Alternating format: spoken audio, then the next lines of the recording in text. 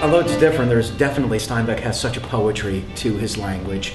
Uh, there is it's, it's the poetry of the common man, and it's wonderful to hear that that musicality in there and, and be able to uh, play that. These uh, stories that, that really rose out of our own culture and are unique to us.